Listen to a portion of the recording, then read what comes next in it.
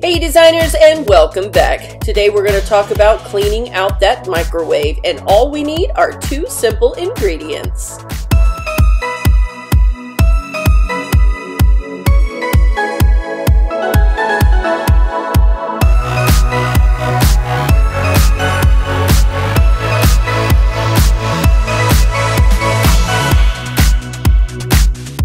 If your home is anything like ours, then you have no doubt experienced that caked on microwave gunk. You know the kind of gunk I'm talking about, that no matter how hard you scrub, no matter how much cleanser you use, it just doesn't budge.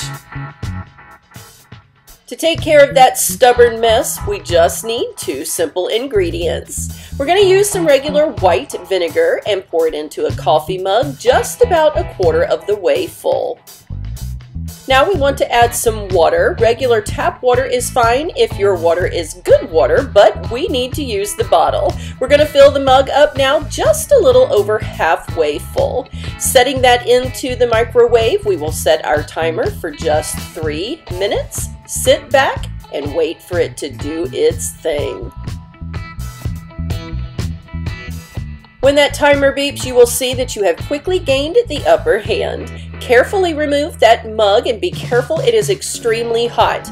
Taking a damp cloth, you can now simply begin wiping away those stubborn stains.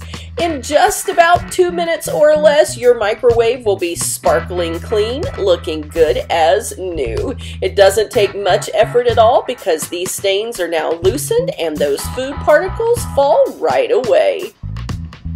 And there you go. In just about five minutes time, our microwave looks good as new. You can't even tell a disaster had happened. It is so easy, foolproof, and just requires two simple ingredients. want to thank you all so much for watching.